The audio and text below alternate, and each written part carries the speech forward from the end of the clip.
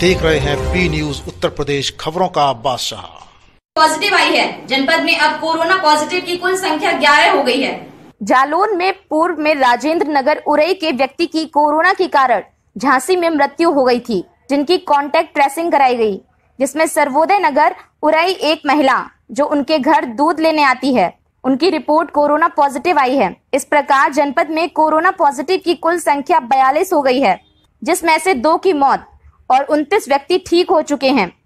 वर्तमान में जनपद में कोरोना पॉजिटिव की कुल संख्या 11 हो गई है। जनपद जालौन में प्रवासी मजदूरों का आने जाने का सिलसिला कम नहीं हो रहा है। जालौन से महेंद्र कुमार गौतम की रिपोर्ट। पेशेंट से कुछ रिकवर हुए हैं कुछ बधाई की गई है एक माता जी की।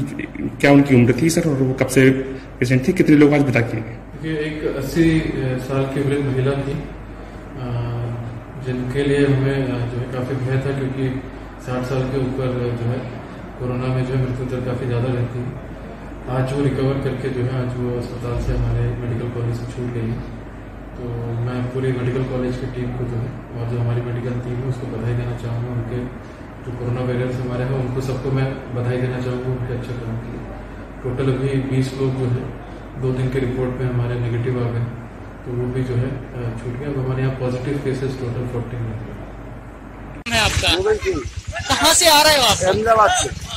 अहमदाबाद से किस चीज़ से आप आए? यहाँ तक कैसे पहुँचे हैं? क्या आपको कठिनाई नहीं पड़ी रास्ते में? क्या क्या मिला आपको कठिनाई बहुत पड़ी। क्या क्या मिला खाने को आपको रास्ते में? खाने को कहीं मिला कहीं नहीं मिला तो भूखे प्यासी आई। अब आप कहाँ जा रहे हो? बीजवा। बिजदुआ के रहने वाले हो। हाँ। थर्मल स्कैनिंग आपकी हो गई? हाँ हो गई। है आपका? जसवीं कुमार कहाँ से आ रहे हो अहमदाबाद से आ रहे कहाँ जाना होगा अभी बिजदुआ जाने का है। बिजदुआ अहमदाबाद से कितने लोग आए अहमदाबाद से चालीस लोग आए हम। किससे आए हो? आप प्राइवेट वाहन से आए या फिर किसी सरकारी वाहन से प्राइवेट वाहन से आए। खुद करके ले आए हो? हाँ खुद करके ले खाने पीने का क्या इंतज़ाम रहा आपका? खाने पीने का रास्ते में मिला है खिलाया है। अच्छा।